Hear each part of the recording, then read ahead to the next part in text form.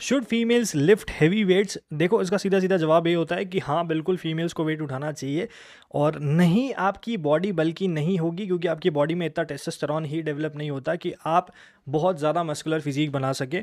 और एक है ना, बहुत अजीब सी चीज़ मैंने देखी है फीमेल्स को लेके कि हर एक फीमेल जो भी मेरे पास आती है ट्रेनिंग के लिए, वो कहती है, मेरे शोल्डर्स ब्रॉड है सर देखो, ऐसा बिल्कुल भी नहीं है कि आपके शोल्डर्स ब्रॉड हैं, क्योंकि आप यहाँ पे टच करके देखेंगे तो यहाँ पे आपको एंड पे हड्डी मिल जाएगी आपकी।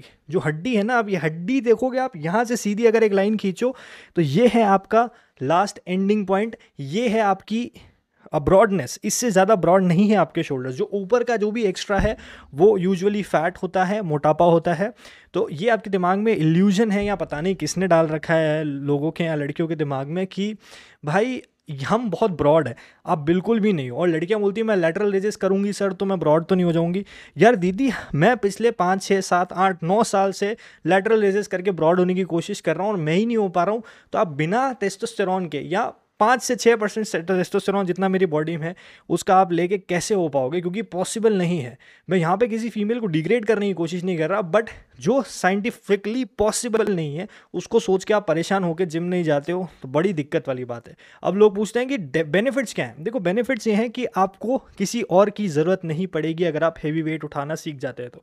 मतलब आपको गमले उठाने के लिए, आपको खुद के बच्चे उठाने के लिए, आपको कार का टायर चेंज करने के लिए, आपको किसी को उठा के पटकने के लिए किसी और की ज़रूरत नहीं है if you are lifting heavy सबसे इंपॉर्टेंट सबसे बेनिफिशियल चीज़ यही कहता हूँ मैं इसको कि आपको ज़रूरत नहीं पड़ेगी हैवी चीज़ उठाने के लिए किसी की भी फर तो मेरे हिसाब से इसलिए फीमेल्स को वेट उठाना ज़रूरी है और फिजियोलॉजिकल भी चेंजेस बहुत सारे होते हैं। आपकी बॉडी में थोड़ा मसल बनेगा जिससे आपका मेटाबॉलिज्म चेंज होगा। आपके साइकिल रेगुलर हो जाएँगे। हार्मोनल आपको चेंजेस बहुत ज़्यादा नहीं होंगे।